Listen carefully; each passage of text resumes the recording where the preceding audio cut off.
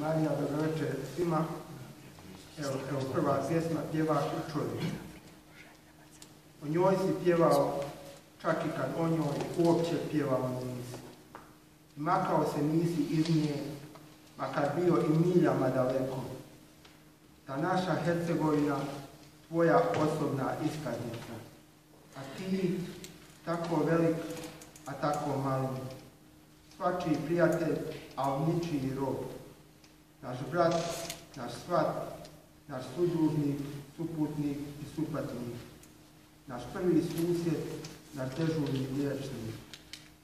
Pa i kada nam sve lađe potonu, ostaje nam tvoja pjesma, kao melem i utjeha.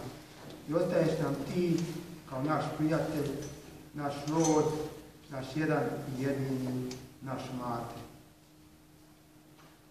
E, druga,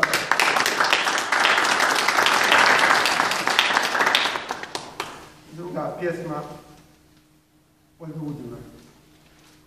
Nekad sretni su ljudi, nekad plaću u tanju, nekad je dovoljno malo, ponekad kožu da mani.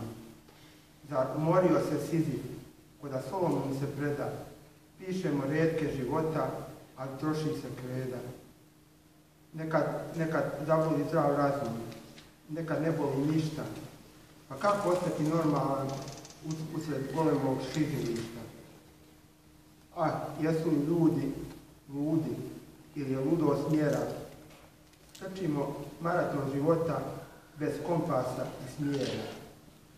Jesu li ljudi ljudi ili su kakve zvijere? Ne znam. Prosudit će Bog na ulasku nebeske dvijeri. I još samo za kraj ću, reći tri riječi. Ana Rita Pulić. Hvala lijepo.